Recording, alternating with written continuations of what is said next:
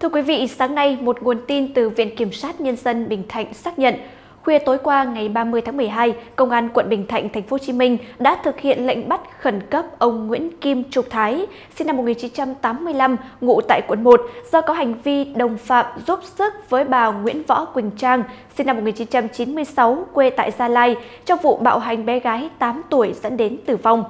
Lệnh bắt khẩn cấp ông Nguyễn Kim Trung Thái đã được Viện Kiểm sát Nhân dân quận Bình Thạnh phê chuẩn.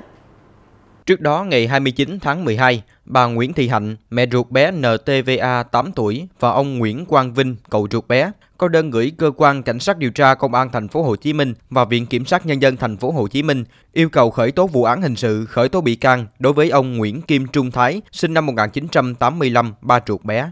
Như PLO đã thông tin, chiều ngày 22 tháng 12, cơ quan chức năng nhận tin báo từ một bệnh viện trên địa bàn phường 22, quận Bình Thạnh, cấp cứu một bé gái trong tình trạng hôn mê, ngưng tim, ngưng thở và đã tử vong trước khi đưa vào bệnh viện.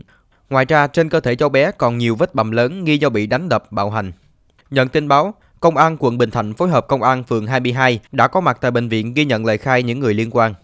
Ngày 28 tháng 12, Công an quận Bình Thạnh đã khởi tố bị can bắt tạm giam 2 tháng đối với Võ Nguyễn Quỳnh Trang, 26 tuổi, quê Gia Lai, về tội hành hạ người khác.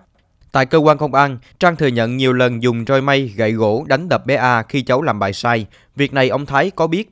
Đối với ông Thái, trong quá trình sống chung biết con có nhiều vết bầm tím trên cơ thể và bảo sợ bố mẹ, nhưng ông Thái không có hành động quyết liệt để bảo vệ hoặc ngăn cản Trang thực hiện biện pháp dạy con như vậy. Bạn có video hấp dẫn. Bạn bắt gặp được những khoảnh khắc độc đáo. Hãy gửi về plo a vòng pháp luật tb.vn để nhận ngay quà tặng và nhuận bút hấp dẫn.